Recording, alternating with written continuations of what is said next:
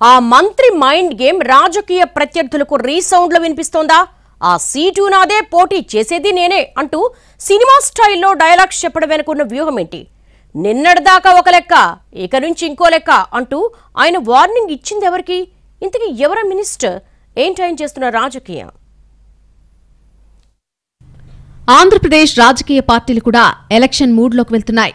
అయితే అధికార విపక్షాల కంటే సొంత పార్టీలో జరుగుతున్న అంతర్గత వ్యవహారాలే యమరంజుగా మారుతున్నాయి. సీట్ల విషయంలో పెరుగుతున్న ఊహాగానాలు నేతల మధ్య విమర్శలకు తెరచాటు ఎత్తుగడలకు కారణమవుతున్నాయి. ఈ క్రమంలోనే ఉత్తరాంధ్రలో ఎక్కువ చర్చ జరిగే స్థానం అనకాపల్లి.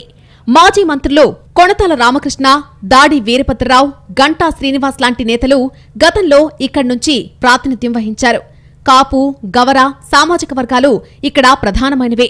అనకాపల్లి మీద మొదట్నుంచి గవర ఆధిపత్యం కొనసాగగా రెండు వేల తొమ్మిదిలో ఈ లెక్కలను మాజీ మంత్రి గంటా శ్రీనివాసరావు బ్రేక్ చేశారు.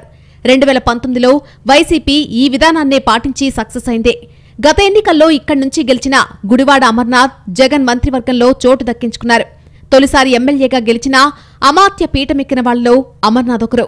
నియోజకవర్గం మీద తనకంటూ ప్రత్యేక ముద్ర వేసుకోవాలనే ప్రయత్నాన్ని ఎమ్మెల్యే అయిన తొలి రోజు నుంచే మొదలుపెట్టేశారు. ఆ దిశగా మొదట్లో అంతా సానుకూలంగా కనిపించినా తర్వాత గ్రూపుల గోల ఎక్కువైంది.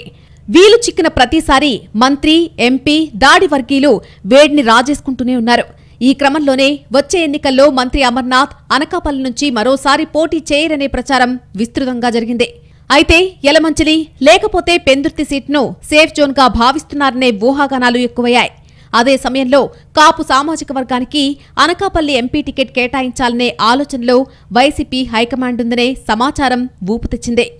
ఎంపీగా అమర్నాథ్ పేరును పరిశీలిస్తారనే మౌత్ పబ్లిసిటీ పెరిగింది.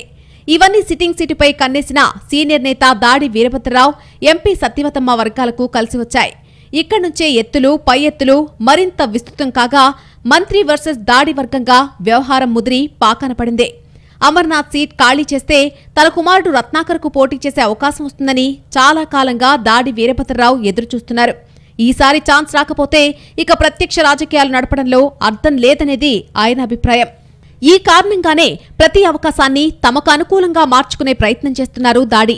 అనకాపల్లిలో పేరుకు తెలుగుదేశం ప్రతిపక్షం అయినప్పటికీ స్వపక్షంలో రాజుకున్న కుంపటి అమర్నాథ్కు ఇబ్బందికరంగా మారిందని వైసీపీ వర్గాలు చర్చించుకుంటున్నాయి. వైరి వర్గం ఈ ప్రచారాలను విస్తృతం చేయడమే కాదు. మంత్రి కావాలనే కీలకమైన గవర సామాజిక వర్గానికి ప్రాధాన్యత తగ్గించారనే అభిప్రాయం పెరగడంతో అప్రమత్తమయ్యారని చెబుతూ ఉన్నారు. అందుకే కీలకమైన అనకాపల్లి జిల్లా అధ్యక్ష పదవిని గౌర కార్పొరేషన్ చైర్మన్ బొడ్డేట ప్రసాద్కు ఇప్పించడంలో కీలకంగా వ్యవహరించారు. దాంతోపాటు నామినేటెడ్ పదవులు పార్టీ విభాగాల్లో నియామకాల్లో గౌర సామాజిక వర్గానికి ప్రాధాన్యత పెంచడం ద్వారా సమతుల్యత పాటిస్తున్నానని చెప్పుకునే ప్రయత్నం చేస్తున్నారు. ఇంతకాలం అంతర్గత ఎత్తుగడలను మౌనంగా భరించానని ఇన్ని రోజులు ఒక ఎత్తు ఇక నుంచి మరో ఎత్తు అని సన్నిహితులకు చెబుతున్నారట మంత్రి. వచ్చే ఎన్నికల్లో అనకాపల్లి సీటు నాదే. అక్కడ పోటీ చేసేది నేనే అంటూ సినిమా స్టైల్లో డైలాగులు చెప్పేస్తున్నారట. అమర్నాథ్ స్టేట్మెంట్స్తో ఇన్నాళ్ళు స్తబ్దుగా ఉన్న కేడర్లో దూకుడు పెరిగిందని క్లారిటీ వచ్చిందని అంటున్నాయి స్థానిక పార్టీ వర్గాలు. గృహ సారథుల సమావేశంలో మంత్రి చేసిన వ్యాఖ్యలు అందరికంటే ఎక్కువగా దాడి వర్గాన్ని కలవరపెట్టినట్టు ప్రచారం జరుగుతోంది. ఈసారి సీటు మారుతానని టీడీపీ జనసేన కావాలనే ప్రచారం చేస్తున్నాయని వాటిని పట్టించుకోవాల్సిన అవసరం లేదని అమర్నాథ్ చెప్పడంతో ఆశలు పెట్టుకున్న దాడి వర్గం నిరాశపడ్డట్టు చెప్పుకుంటున్నారు. ఇదే దూకుడుతో రాజకీయంగా అనకాపల్లి వైసీపీలో దాడి కుటుంబానికి దాడులు మూసేయాలన్న వ్యూహం కనిపిస్తుందని అంటున్నారు పరిశీలకులు. రెండు వేల పంతొమ్మిదిలో దాడి ఫ్యామిలీ ఈ టికెట్ ఆశించినా అవకాశం దక్కలేదు.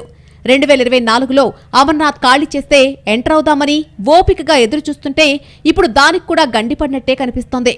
ఎలక్షన్ టైం దగ్గర పడే కొద్దీ అనకాపల్లి వైసీపీ రాజకీయం ఎన్ని మలుపులు తిరుగుతుందో చూడాలి.